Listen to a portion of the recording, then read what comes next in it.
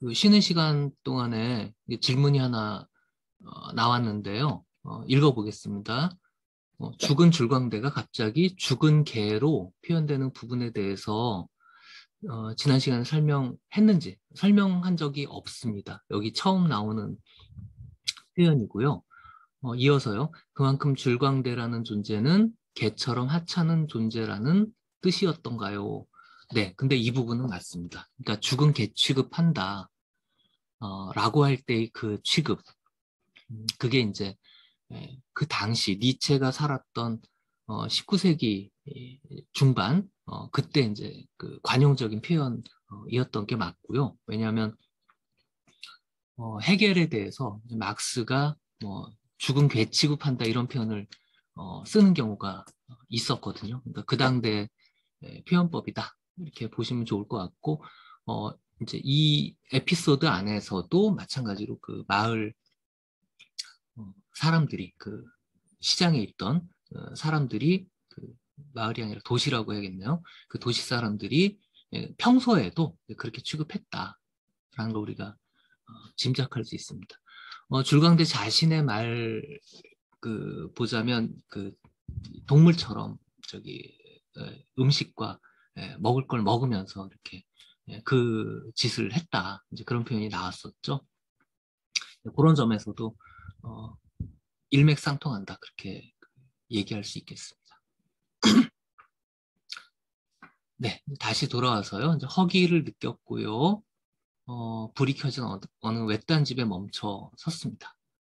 허기가 약탈처럼 약탈자처럼 나를 습격한다.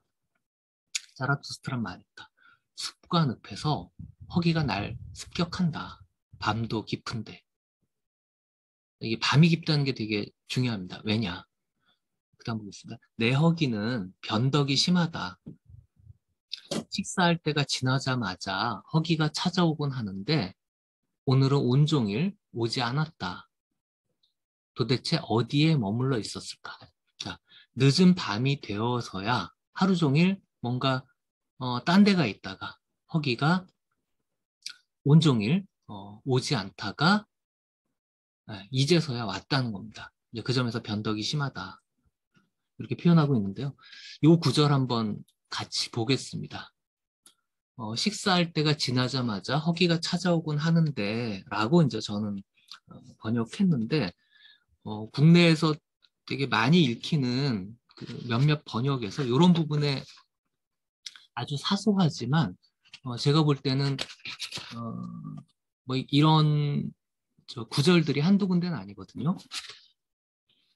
어, 그 뭔가 이 사소함을 놓쳤기 때문에 그게 쌓이다 보면 어, 의미까지 좀 놓치게 되는 그런 건데요. 첫 번째 제가 소개해 드릴 거는 어, 장희창 번역입니다. 민음사 판본이고요. 이렇게 나와 있습니다. 자, 제가 파랗게 칠한 네, 그 부분입니다. 이따금 식사 후에 찾아오던데 오늘은 하루 종일 찾아오지 않았으니. 자 배고픔이라는 게요 식사 후에 찾아오나요? 이게 좀 이상하죠 일단. 자 한 번 더 읽어보겠습니다. 이따금 식사 후에 찾아오던데 라고 되어 있습니다. 식사 후.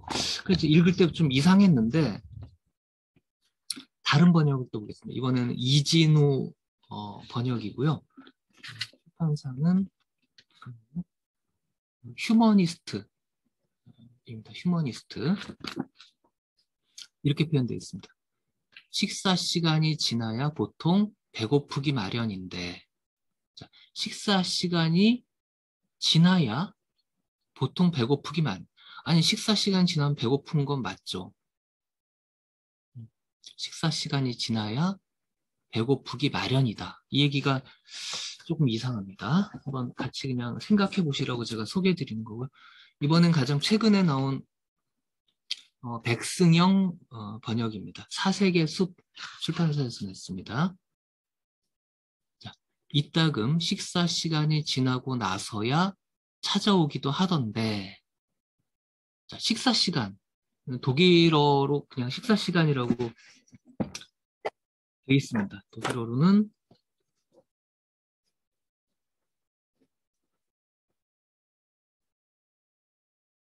말 사이트 좀 적어 보여드릴게요.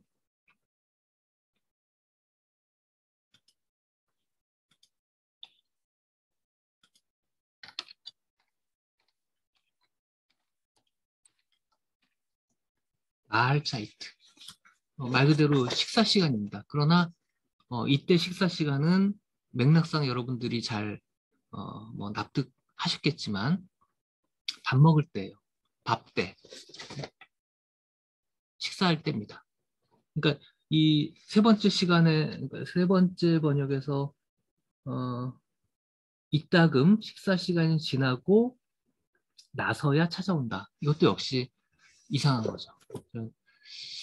증거를 그냥 여기다 어, 적어드리겠습니다.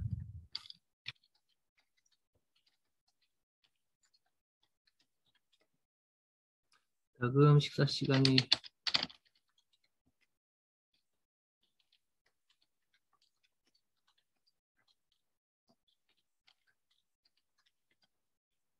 형 번역입니다. 이렇게 있고요. 이거를 그냥 비교 차원에서만 저기 말씀드릴 수밖에 없을 것 같아요. 그 다음은 저기 이진호 번역입니다.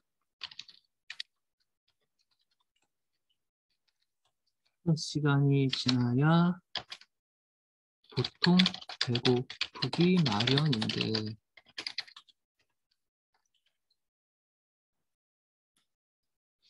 자, 이렇게 돼 있고요. 뭐 좀 제 느낌이 이상합니다. 역시 마지막으로 장희창 민음사 번역인데요. 이탁은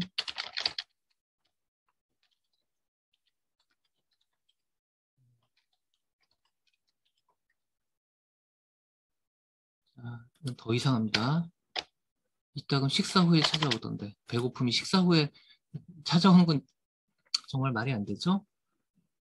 이, 이때 식사 시간이란 말이 어, 밥 먹을 때, 밥 때라는 의미가 분명히 예, 두드러지진 않는 것 같고요. 이따금이란 표현이 또 그, 어, 사실은 음, 거의 매일 아니겠어요? 그 매일 이따금이 아니죠. 그냥 지나자마자 찾아온다. 어? 평소에는. 근데 오늘은 온종일 배 안 고팠다. 그 얘기죠. 자, 식사 시간이 지나야 어, 배고프면. 자, 제가 이제 이, 이런 걸 보여드린 까닭은, 어, 다른 번역, 그, 뭐, 특별히 지적하겠다 그런 취지라기보다는 상식적으로. 그렇죠. 우리 질문 지금 주셨는데, 통상적으로는 배고플, 이제 밥 때가 되면 배가 고프죠.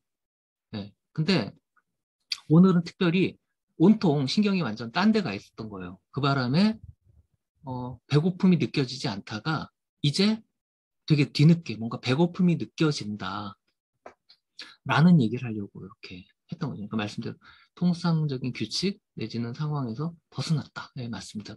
그런 특별한 경험을 지금 어, 자라투스트라가 어, 진술하는 거죠. 근데 이제 그 얘기는 아까 쉬기 전에 제가 그 말씀드린 것처럼 허기를 느꼈다라는 게 뭔가 이제 통상적인 그 어, 어, 상황하고 다른데 뭔가 그 앞하고 요, 요 허기를 느끼기 전하고 어, 허기를 느낀 다음하고 사이에 잘 모르는 그러니까 몸의 수준에서 일어난 에, 무의식적인 변화 혹은 깨달음 뭐 이런 게 있었다. 자, 그런 걸 뜻한다고 우리가 볼 수도 있습니다.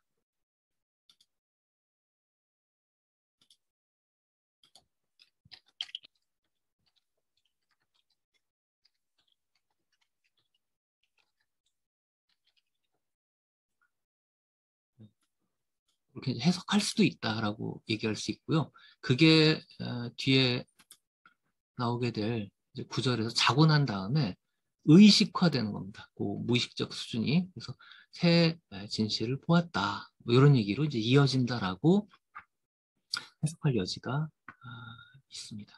그러나 뭐 굳이 그렇게까지 해석하지 않아도 상관은 없다. 일상적인 얘기로 오늘 좀 특별했다. 그 얘기를 하고 있는 거라고 보셔도 됩니다. 자, 이제 계속 보겠습니다. 아, 그러면서 자라투스트라는 그 집 문을 두드렸다. 늙은 남자가 나타나 등불을 들고 물었다. 등불을 들고 물었다. 잠시만요.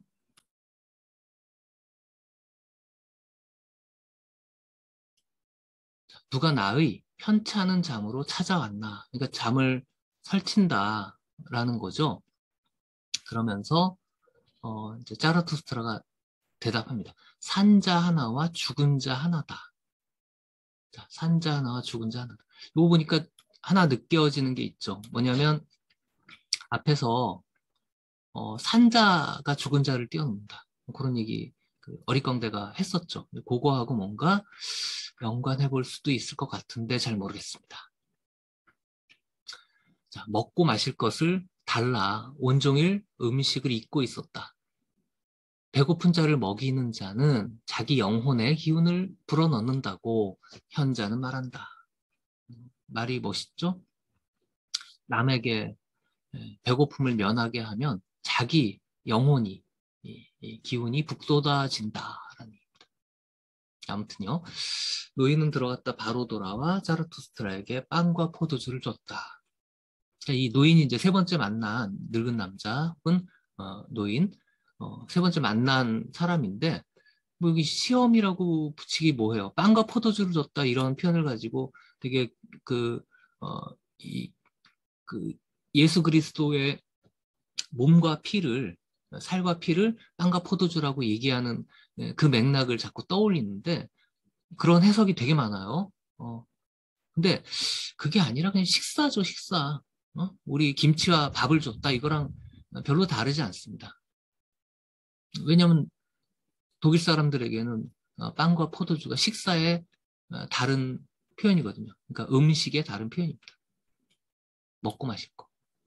그렇기 때문에 이로부터 이 표현으로부터 어, 너무 그 이 노인이 뭐 이 예수 그리스도의 환생이다 뭐 이런 식으로 얘기하는 거는 어, 제가 볼 때는 음, 지나치다고 생각합니다.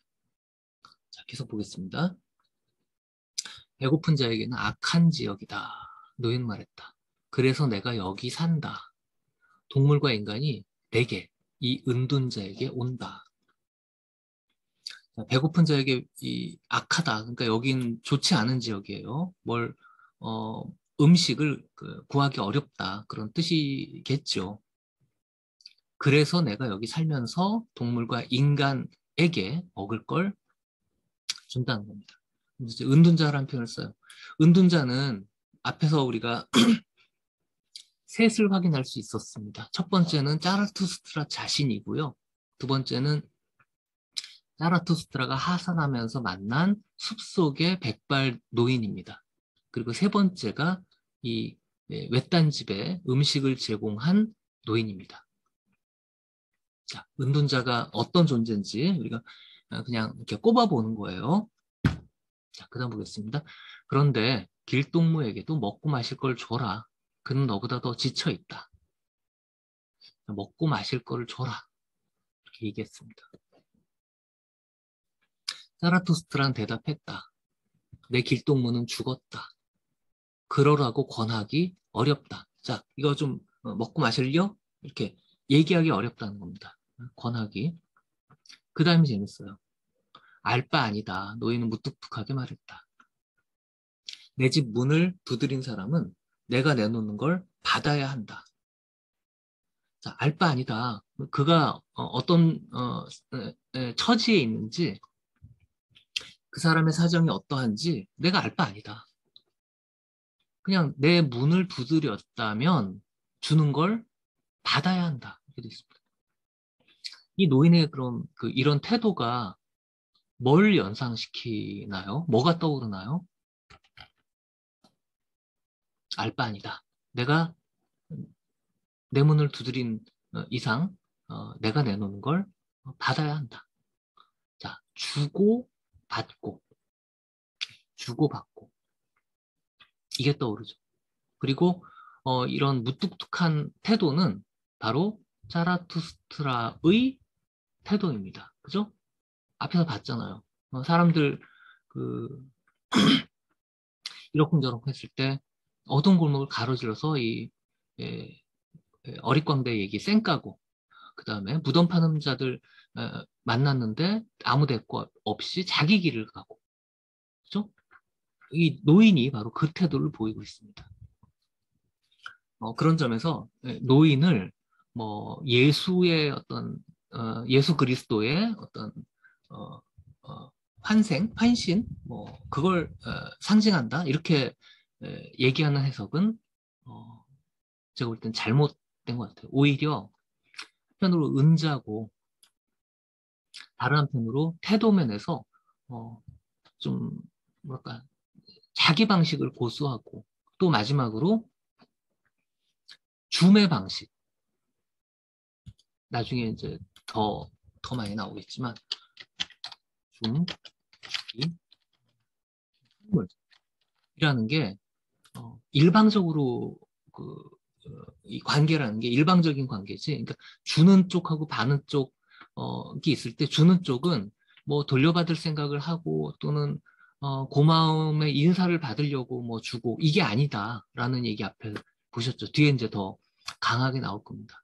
바로 이제 그런 식으로 준다는 것의 그 방식. 물론 어, 받는 사람 쪽도 마찬가지. 받으니까 고맙다가 아니라 내가 받으니까 네가 어, 그 너의 그 풍요로움 뭐 이런 걸 어, 만끽하는 거지라는 식의 태도. 이건 이제 예, 연관 속에 있습니다.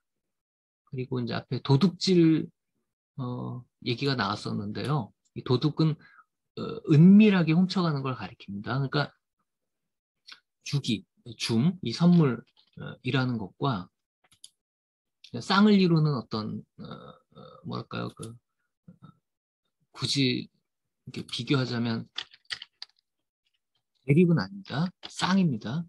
음, 누리기 이거 하고 또 이제 이번엔 대립입니다.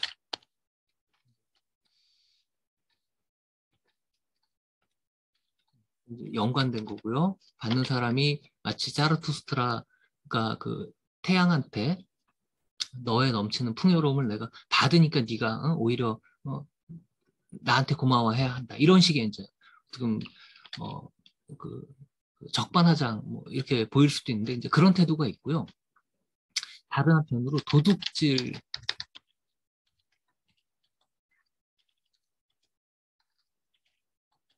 어, 도둑질의 태도가 있습니다. 그리고 이거는 뭐랑 또 대립되냐면 약탈, 강탈, 뭐랄까요? 어, 은밀하게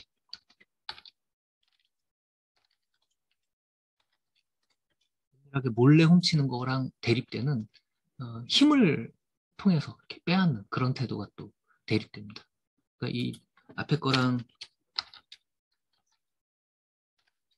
좀 다른 방식이긴 해요. 그러나 어, 이 주기와 어, 받기, 이 어떤 상호 간의 일방향성, 관계를 맺어야 이게 주고받는 게 성립하지만 주는 쪽도 받는 쪽도 둘 다 쿨해요. 그냥 네, 그런 어, 쌍이 있고 바로 그 점에서 어, 이 노인은 어, 자라투스트라에게 그러니까 여기 자라투스트라가 먹고 잘들 가라. 그러니까 네 고맙습니다. 이런 얘기 안 하잖아요. 그러니까 서로 그냥 어, 주는 쪽은 주기만 하고 받는 쪽은 받기만 한다. 네, 그런 관계가 여기 성립한다는 겁니다. 그리고 이제 그와 연관해 가지고 몰래 훔치는 이 도둑질과 약탈 또는 강탈 이건 뭐 서란스럽게 뺏는 거예요 힘으로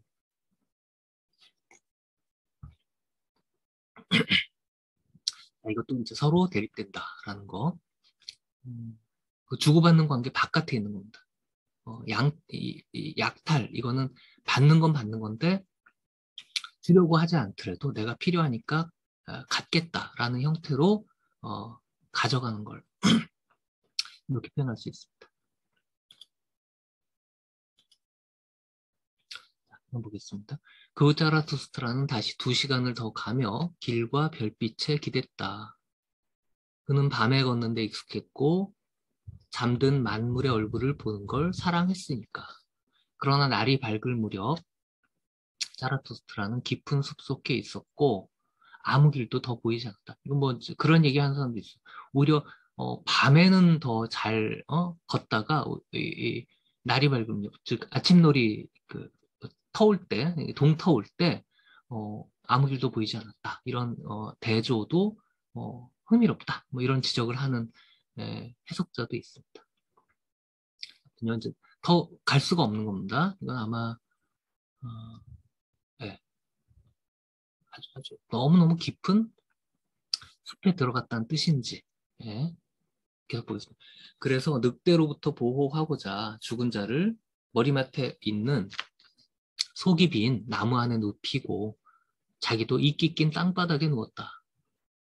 그러자 곧 잠들었다. 몸은 지쳤지만 영혼은 미동도 없이 아주 아주 깊게 잠든 거겠죠. 그리고 죽은 자를 뭐 속이 빈 나무 안에 눕힌다를 뭐 또 이 예수 그리스도의 그 어, 나, 십자가 형하고 이렇게 자꾸 연관시키는 사람도 있는데 저는 아, 뭐 굳이 그럴 필요 있나 그런 게 아니라 그냥 말 그대로 늑대한테서 보호하려고 어, 속빈 나무 안에 이렇게 응? 눕혔다. 그렇게 보는 게 더 맞지 않나. 늑대 밥이 되게 하지 않으려는 어떤 어, 그, 그 미세한 섬세한 섬세한 배려. 이렇게 봐야 될 것 같은데. 그다음에요? 잠든 만물의 얼굴을 보는 걸 사랑했다라는 이런 표현들은 나중에 어, 좀더 자세하게 여러 그 앞뒤 맥락과 함께 보도록 하겠습니다. 잠들었다라는 것도 어, 우리가 저기 주목해야 되는 표현입니다. 잠든 거의 반대는 어, 깨나는 겁니다. 깨, 깨는 거예요. 깨는 거는 어, 깨어나는 거는 뭐 우리 초반에 많이 그 이야기한 것처럼 어, 깨달음, 붙다라는 게 그런 표현이라고 했죠. 네, 깨어난 자. 그러니까 이 깨어났다라는 게 잠에서 깨어났다. 이거는 이제 생리적인 차원의 진술이고요. 그거 말고 뭔가 맹한, 멍청한 어, 이런 상태에서 깨어났다. 개몽되었다. 이것도 역시 이제 깨어났다는 말의 뜻이죠. 바로 이제 잠들었다는 말도 두 가지 에, 서로 다른 의미가 있을 수 있습니다. 어, 아직 어, 잠재적인 어, 형태로 머물고 있다. 뭔가 이렇게 발현되지 못했다. 네, 그런 뜻도 있는 거고요. 말 그대로 그냥 여기서처럼 몸이 잠든 거 그런 걸 가리킬 수도 있습니다. 자, 이어서 가보도록 하겠습니다. 구절입니다. 자라투스트란 오래 잤다. 아, 아침놀뿐 아니라 오전도 그의 얼굴 위를 지나갔다. 그러나 마침내 눈이 떠졌다. 자라투스트란 놀라서 습과 고요함을 보았고 놀라서 자기 내면을 들여다보았다. 그러더니 처음 육지를 본 뱃사람처럼 재빨리 일어나 환호했다. 새 진실을 보았기 때문이다. 자, 처음 육지를 본 뱃사람처럼 재빨리 일어나 환호했다. 여기에 대해서 이제 몇몇 어, 이제 이 주석을 단 사람들이 화면 보이실 거예요. 어, 그 노트에 남긴 메모를 연관시킵니다. 이게 82년에서 3년 사이에 쓴 어, 노트에 나오는 구절인데요. 나는 인간한테서 어, 새 땅을 발견했다.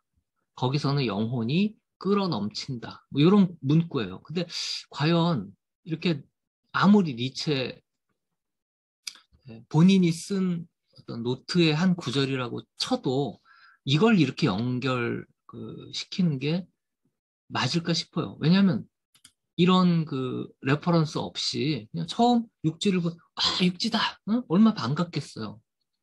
어? 그 뭐야 어, 소설이나 영화나 이런 데 많이 나오잖아요. 이런 구절 어? 이런 어, 장면.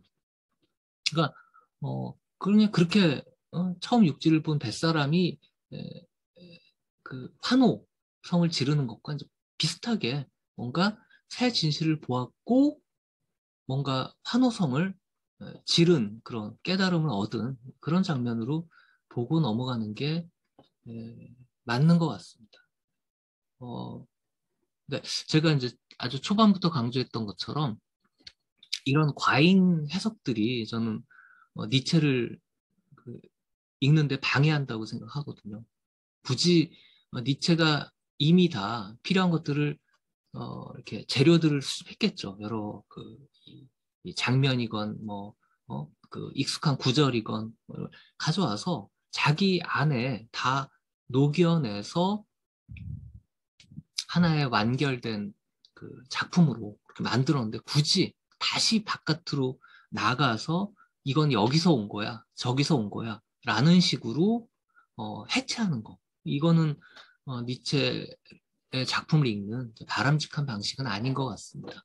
어, 최대한 이 작품 안에 머물면서 그 내에서 어떤 어, 연관, 특히 제가 어, 강조하는 건 니체 이, 이 짜라투스트라 이렇게 말했다에 등장하는 많은 어떤 자연물들, 동물이건 식물이건 뭐 계절이건 아니면 하루에 24시간 중에 어느 때건 이런 것들하고 관련해 가지고 이걸 어, 이해하려는 태도, 그걸 종합적으로 이해하려는 태도, 이거는 굉장히 예, 바람직하지만 책 밖으로 자꾸 나가서 구절들을 끌어오는 거, 이거는 별로인 것 같아요. 대, 대부분의 경우는 별로인 것 같습니다. 그래서 어, 주석들 그다지 예, 이런 수준에서의 주석들은 어, 필요하지 않습니다. 이따가 제가 어, 오늘 세 번째 예, 시간에 그 관련된 얘기를 어, 하나 더 소개해 드리려고 하니까요. 그렇게 보시고 그럼 어떤 새 진실을 보았을까? 그래서 그 깨달음에 대한 얘기를 어, 하게 됩니다. 이 깨달음은 앞으로 이제 그 몇 가지를 겪었잖아요. 그 시장에서 군중을 만나서 얘기한 장면, 그리고 이, 이 줄광대 사망 사건, 그 다음에 그 도시에서 빠져나오면서 만났던 사람들 등등. 자, 이제 아까도 잠깐 말씀드렸지만 그 몸은 미리 깨달았는지 몰라도 하여튼 이게 의식적으로 떠오른 것은 지금입니다. 충분히 몸이 쉬고 난 후에 자, 분명히 알 것 같다. 나는 길동무들이 필요하다. 길동무 또는 어, 반려자 같이 어, 여행하고 이렇게 뭔가 탐색하는 네, 그런 작업을 할 네, 친구 이게 필요하다. 그렇게 선언합니다. 이제부터 말하려고 할 건이 어, 길동무의 성격이 되겠죠. 내가 욕망하는 곳으로 짊어지고 갈 죽은 길동무나 시체가 아니라 살아있는 길동무들. 자, 내가 내가 원하는 이 욕망이란 말을 제가 어, 저번에도 설명 한번 드렸던 것 같은데 어, 21일.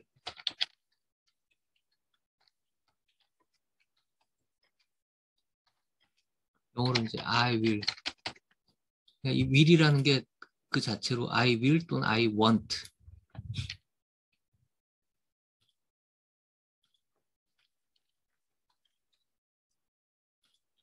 where I want, wo ich will. 내가 욕망하는 곳으로.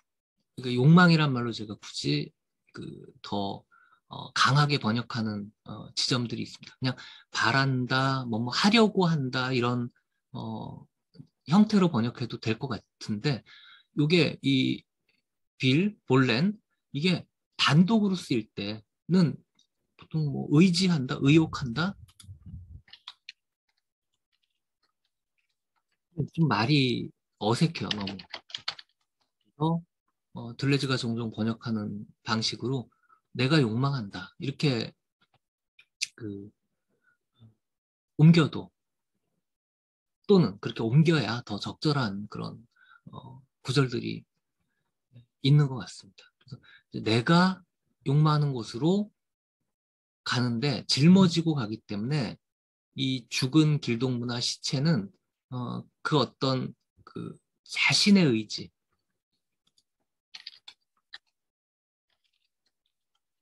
욕망 이런 것들을 갖고 있지 않은 거예요.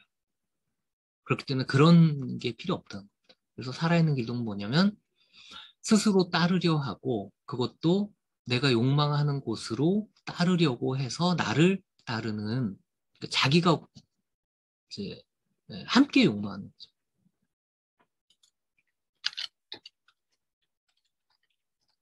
그런 살아있는 길동무들이 필요하다. 분명히 알 것 같다. 짜라투스트라는 예, 군중이 아니라 길동무에게 이야기한다. 짜라투스트라는 가축대의 양치기와 개가 되어서는 안 된다. 뭐 가축대 양치기 이것도 또 뭐 성경에 나오는 얘기다 이렇게 얘기할 수 있는데 그렇기보다는 그 다음 나온 것처럼 어,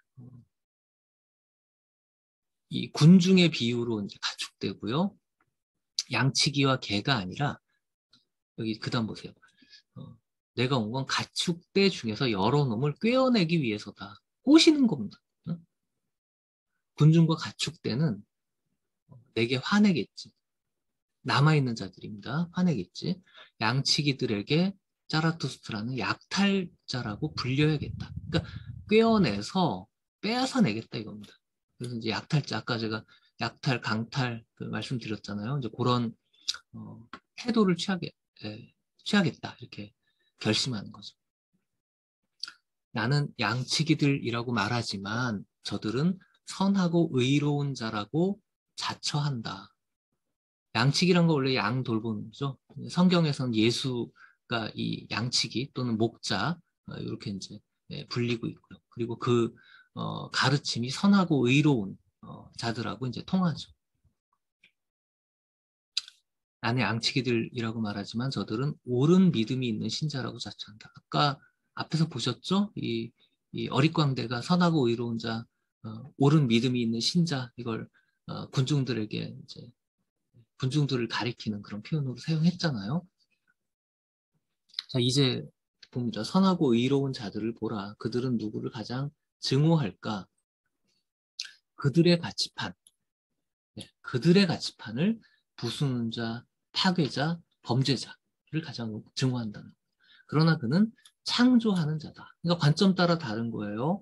전통, 특히 이제 서양의 예, 그리스도교적 어, 가치와 도덕 이거를 파괴해야 이제 새로운 예, 그것이 갖고 있는 어떤 어, 부정성, 어, 퇴폐성, 그다음 에, 데카당 그 데카당스 그 몰락 뭐 이렇게, 이렇게 네, 쇠락 이런 것들을 어, 극복할 수 있는 거죠.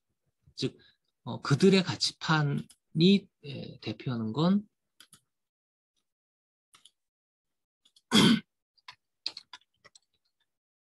마지막 인간들의 예, 삶의 예, 기초 뭐 이런 거라고 할 수 있습니다. 하지만 초인의 관점에서 보자면 그것들이 파괴자가 곧 창조자인 거죠. 계속 보겠습니다. 모든 믿음의 신자들을 보라. 그들은 누구를 가장 증오할까? 그들의 가치판을 부수는 자, 파괴자, 범죄자. 하지만 그는 창조하는 자다. 이런 범죄자 같은 것도요, 어떤 관점에서 보느냐에 따라 그게 범죄인지 아니면, 어, 새로운 범죄라는 게 이제 그, 그 규칙을 깨는 자잖아, 어기는 자. 근데 저 이제 가끔 그런 얘기 하는데, 그 혁명이라는 사건이 있잖아요.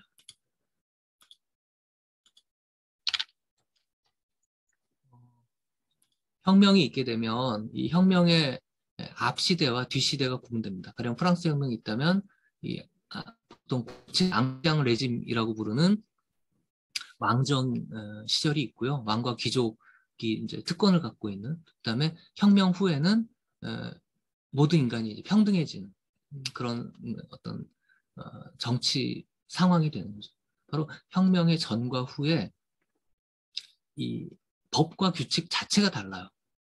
그렇죠? 근데 만약에 이게 혁명이 실패하면 부채제의 관점에서 그것은 반란이라고 불립니다. 혁명과 반란은 같은 어, 같은 외형을 띠고 있어요.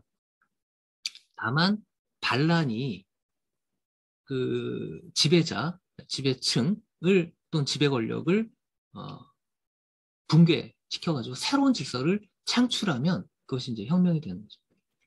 혁명을 시도했지만 그게 그 지배 권력에 의해 진압당하면 그건 반란으로 그냥 범죄로 머물고 마는 거예요.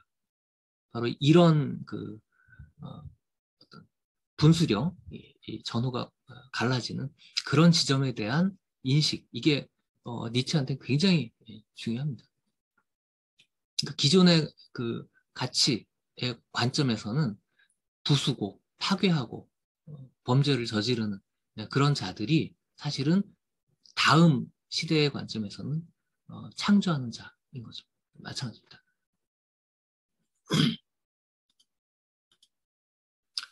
자, 계속 보겠습니다.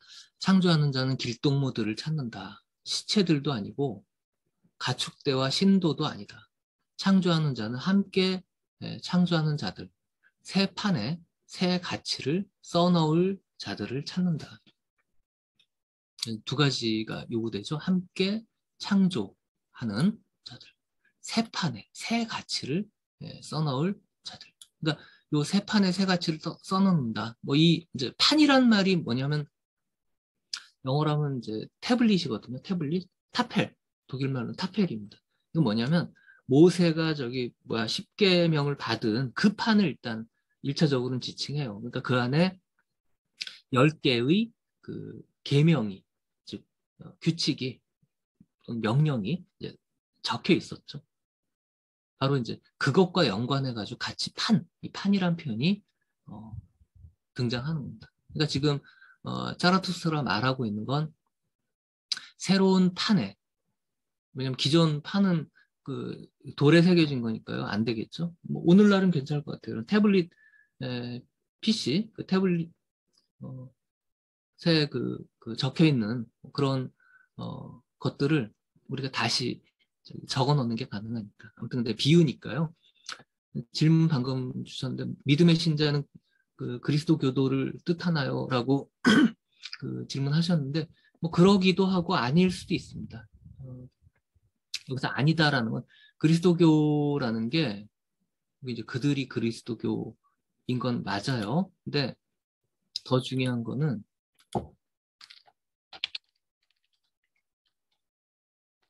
어,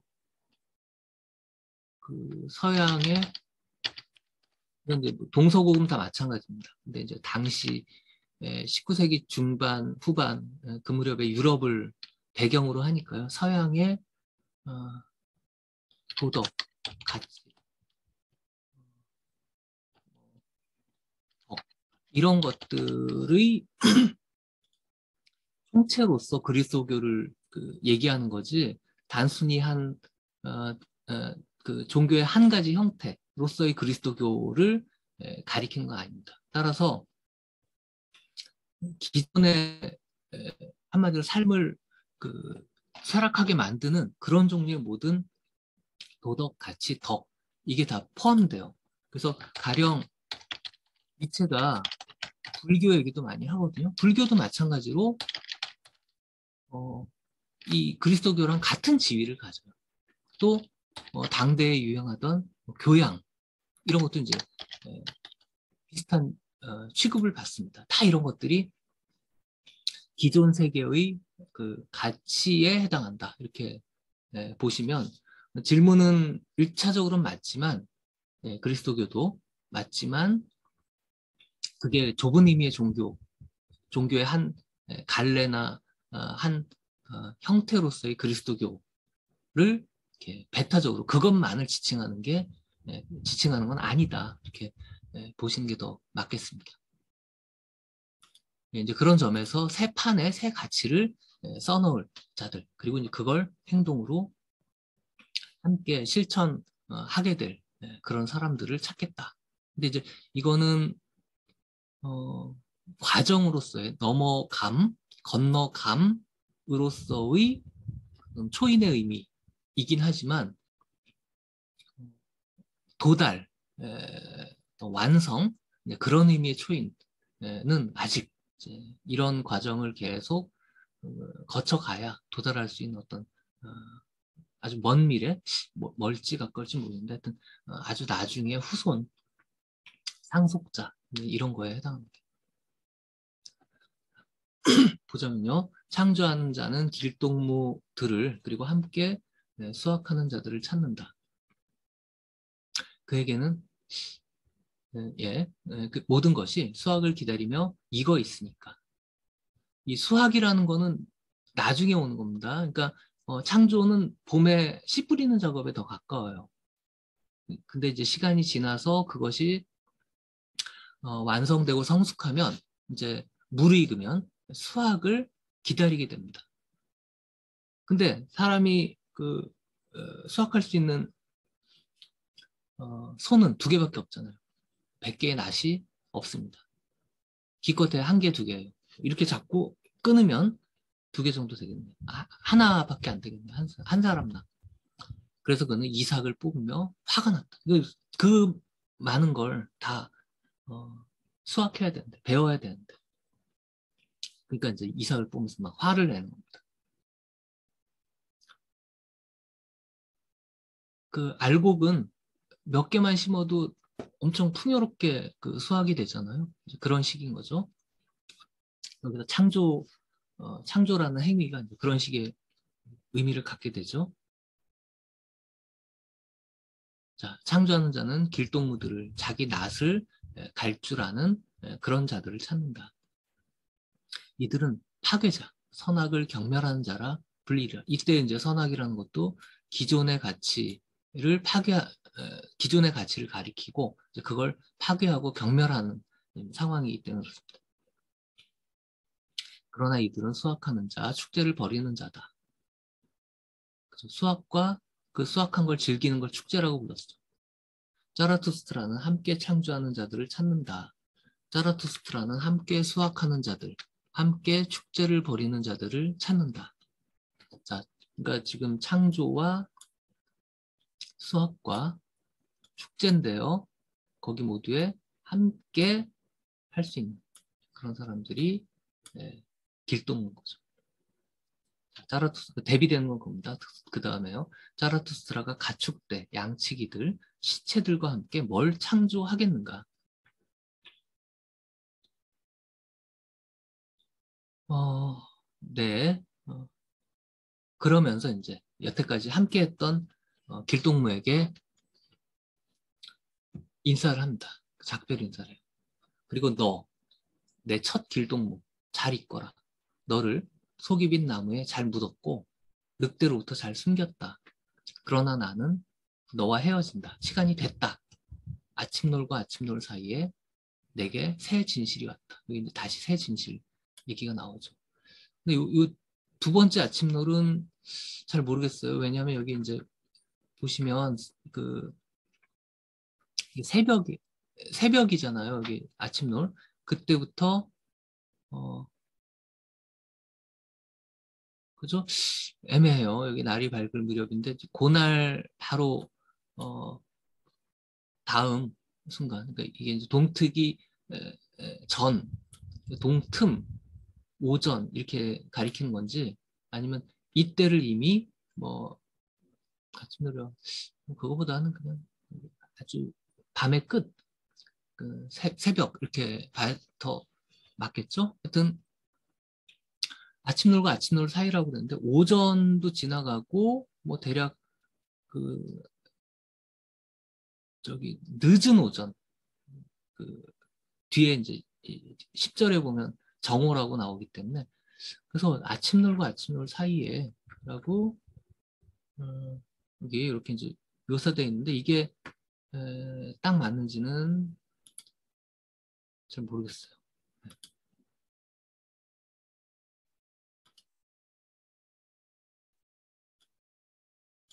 네, 아침과 아침 사이. 생각나는 게 원문 한번 볼까요? Zwischen Morgenröte und Morgenröte. 네, 아침놀과 아침놀 사이라고 분명히 되어 있습니다. 그러니까 이건 음, 시간적으로 약간 앞에 진술들하고는 일치하지 않는다. 이렇게 얘기할 수 있습니다. 자, 대략 그 조금 남긴 했는데요. 시간 안배상 여기서 잠깐 쉬고 이어서 끝까지 가도록 하겠습니다.